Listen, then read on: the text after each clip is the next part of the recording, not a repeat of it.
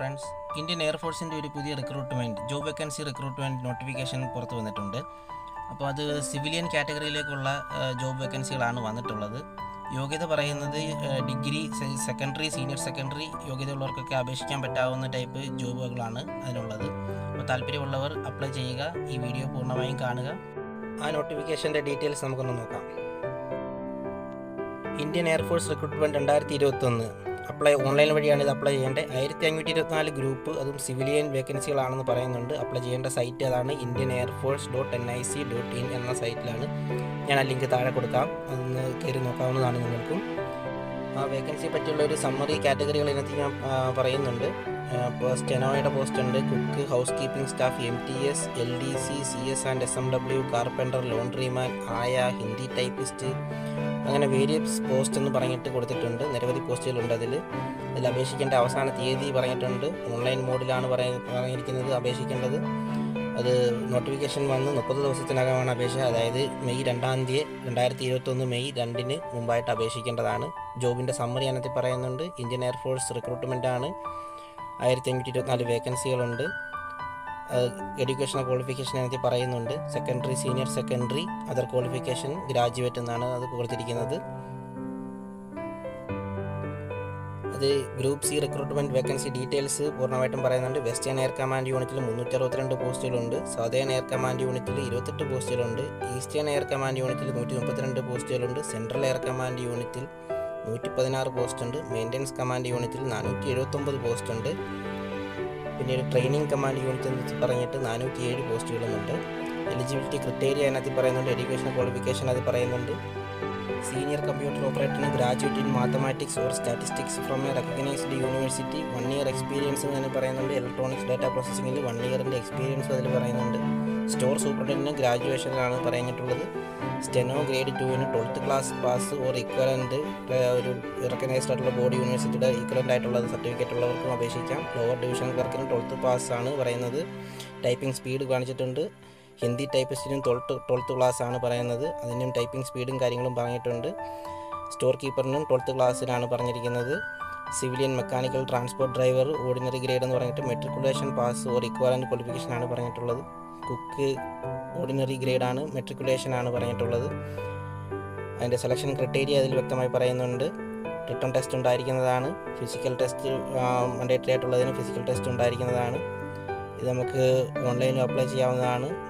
മുപ്പത് ദിവസം അതായത് നോട്ടിഫിക്കേഷൻ വന്ന് മുപ്പത് ദിവസത്തിന്റെ കാലാവധിയാണ് പറഞ്ഞിട്ടുള്ളത്. അതിനുള്ളിൽ അപ്ലൈ ചെയ്യണം. മെയ് രണ്ട് രണ്ടായിരത്തി ഇരുപത്തൊന്നിന് മുമ്പായിട്ട് ഇത് അപ്ലൈ ചെയ്യേണ്ടതാണ്.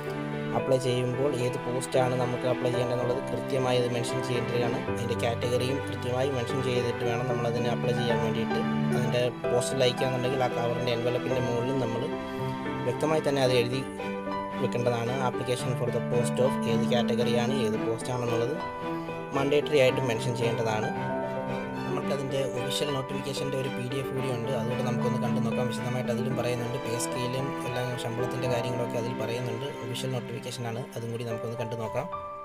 അപ്പോൾ ഇതാണ് അതിന്റെ ഒഫീഷ്യൽ നോട്ടിഫിക്കേഷന് അപ്പോൾ നമ്മൾ ജോബ് സമ്മറിയിൽ പറഞ്ഞിട്ടില്ലാത്ത കുറച്ച് പോസ്റ്റുകളുടെ കാര്യം കൂടി ഇതിൽ പറയാൻ മെൻഷൻ ചെയ്തിട്ടുണ്ട്. അതിൽ പ്രായപരിധിയുടെ കാര്യങ്ങൾ പറഞ്ഞിട്ടുണ്ട്. പതിനെട്ട് ടു ഇരുപത്തഞ്ചാണ് പറഞ്ഞിരിക്കുന്നത്.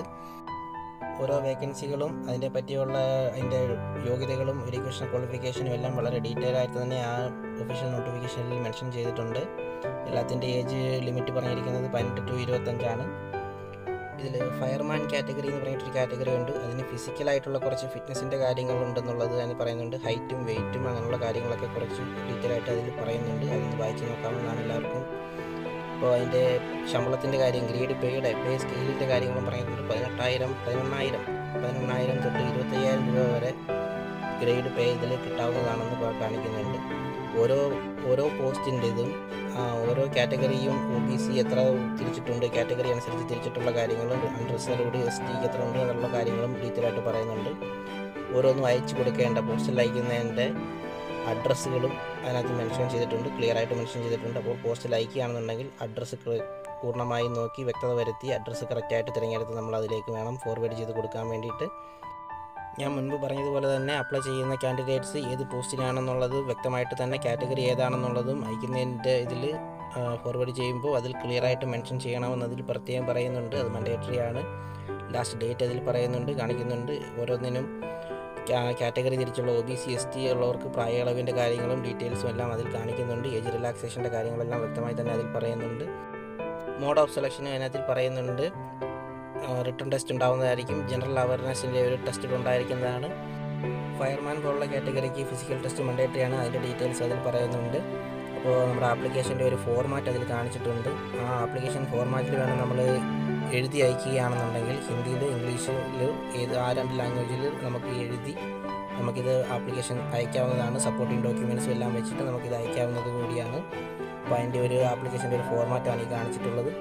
അപ്പോൾ അതും നിങ്ങൾക്ക് നോക്കാവുന്നതാണ്. ആ ഫോർമാറ്റ് അതേപോലെ തന്നെ നമുക്ക് എഴുതി അയക്കാവുന്നതാണ്. ഈ ജോബ് ഇൻഫർമേഷൻ നിങ്ങൾക്ക് ഉപകാരപ്രദമായിട്ടുണ്ടെങ്കിൽ ഷെയർ ചെയ്യുക ഫ്രണ്ട്സിന് കൂടി എത്തിച്ചു കൊടുക്കുക. കൂടുതൽ ജോബ് അപ്ഡേറ്റ്സുകൾ ലഭിക്കുവാനും ഒന്നും മിസ്സാകാതിരിക്കുവാനുമായി നമ്മുടെ ചാനൽ ഒന്ന് സബ്സ്ക്രൈബ് ചെയ്യുക ലൈക്ക് ചെയ്യുക ബെല്ലൈക്കൺ കൂടി ക്ലിക്ക് ചെയ്യുക.